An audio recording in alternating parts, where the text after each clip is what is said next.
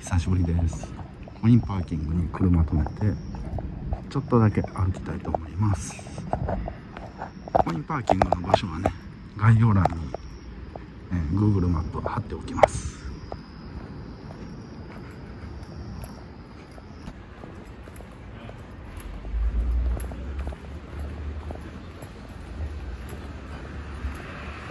ラーメン明太軒さん行ってみたいと